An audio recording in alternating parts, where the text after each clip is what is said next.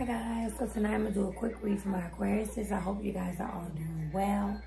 Um, take what resonates and leave the rest. Oh, the Empress card, okay.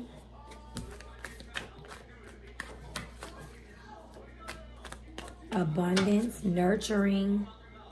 Y'all could be like in a developmental stage, could be like doing some decorating or rearranging or remodeling of something but take it as it resonates. Matter, it doesn't matter if you're a female or a male. This is like really getting in touch with your feminine side for some of y'all. Like the feminine inside you, you could be just being uh, more nurturing, more caring.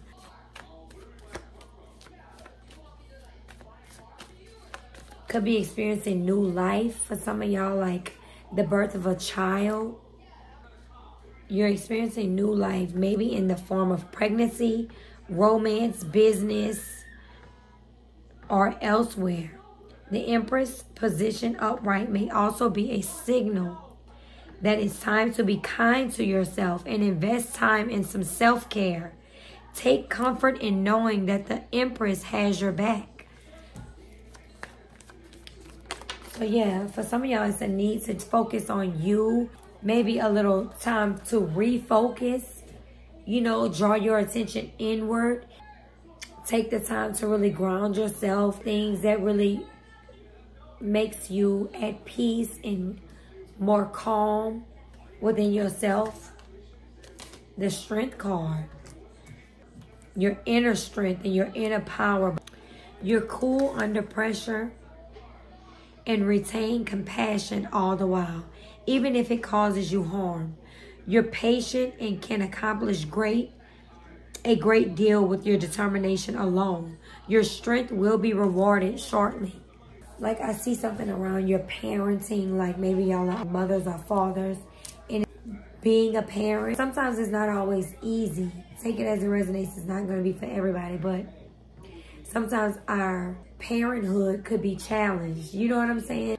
Take a breather if you are going through some challenges with a child or your children, you know, take a breather, take some time to yourself to refocus, realign yourself, pray or whatever you resonate with, meditate. Then you can come from a calm and loving and grounded place. Just find that strength. You know, you're so resilient. You've overcame so much. It's like, don't give up because it's right there ground yourself and tap back into who you truly are. Don't give up, you know, on yourself. Because the energy you put out was the energy you get back in. The Six of Cups. So some of y'all could be like nostalgic about something. This is like familiarity, like happy memories, reminiscing on something, maybe your childhood. You may be reminiscing about your childhood or thinking about someone from your past. This is the card of childhood and can represent working with adolescents, simplicity, playfulness, innocence, protection, and family. Take the support available from family and close friends. So it's like if you're thinking about, like some of y'all could be like heavily focused or thinking about somebody from your past that you feel like really close to, you know, uh, a familiar feeling, like a safe place. Four Wands. This could mean like celebration, harmony, engagement, like a reunion. So somebody from your past could be coming back and you guys could like deepen some sort of connection. Uh, a passionate connection. And this could be like you're returning home. Being with people and places most familiar. It could be like really healing for you to like go back to a place of like comfort and you feel protected. You know take this time to soak up the bliss and appreciate the good things in life.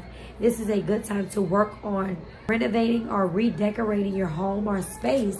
So yeah with the empress card that is too this is like growing a garden or just creating like making it more fresh and more comfortable you know but if this is a sign that if you did want to do something like, like painting or redoing some type of space in your home to make it more comfortable, this is a sign to go ahead and do that.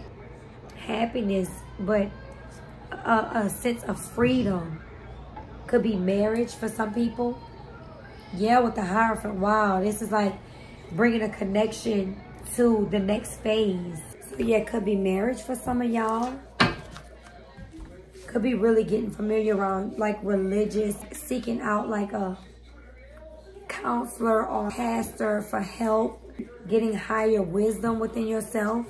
But this is also like bringing, you know, some of y'all could be getting married, reconciling a connection.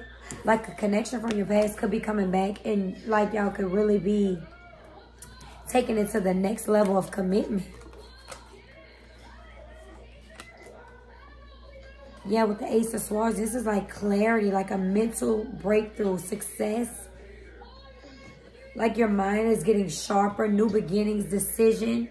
Some of y'all could have had surgery or going through surgery, but this is like a breakthrough, a positive breakthrough.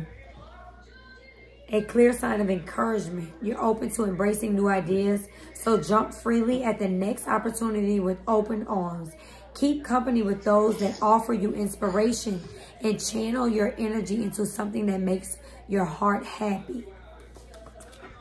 So yes, this is like positive energy. Oh wow, with the Fool card, this is like taking risks, new beginnings, new opportunities, spontaneous, trust in life.